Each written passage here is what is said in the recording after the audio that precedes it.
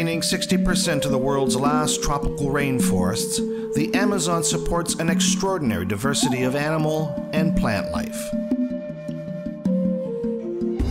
It is the world's largest freshwater system, and because it absorbs carbon dioxide, it plays an important role in regulating the climate, not only of South America, but of the entire world.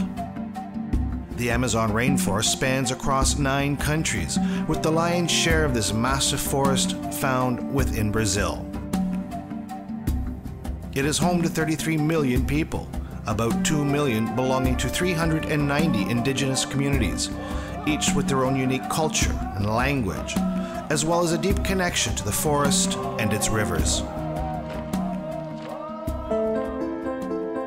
Many of us have already seen dramatic images of fires and deforestation in the Amazon. But few realize that the biggest threat to this unique ecosystem, as well as the communities living there, may well be investments, both from the government and the private sector.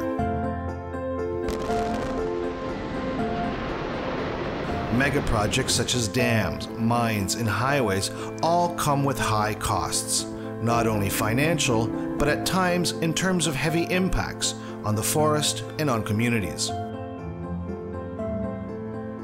Organizations in South America are working to reduce the social and environmental impacts of this development and influence the flow of public finances into more sustainable ventures. The Brazilian Development Bank flexes huge economic muscle and with disbursements of $80 billion a year, it is the main force behind Brazilian national and international development interests. It's a bank that's financed by Brazilian taxpayers. And so it has a key role in terms of financing infrastructure projects in Brazil, including hydroelectric dams. Those infrastructure projects should be serving the interests of the Brazilian people. But what we're seeing is in a lot of times there's a huge lack of transparency in terms of how are decisions being made, what are their strategic priorities, for example, in the energy sector, and how are they taking into account the social and environmental risks and impacts of the projects they're funding.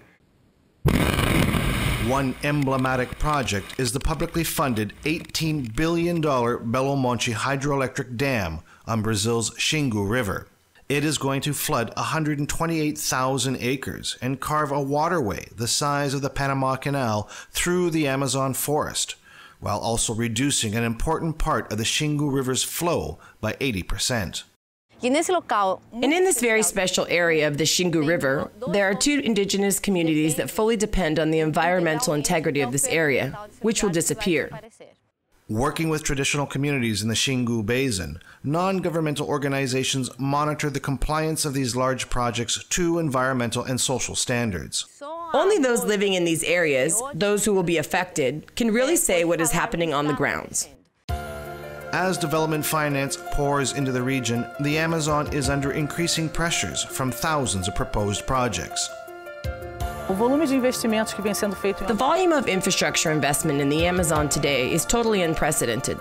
It's on a scale that's never been done before, but what we can see is that the dynamics will change a lot of the Amazon, forcing more population resettlement, new land occupations, and there is already visual evidence of deforestation around some of these projects.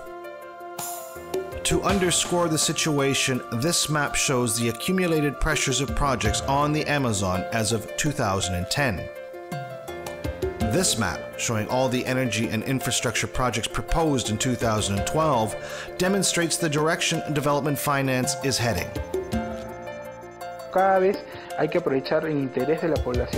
We have already seen how important it is to engage with local communities and civil society, who can bring social and environmental concerns to the table.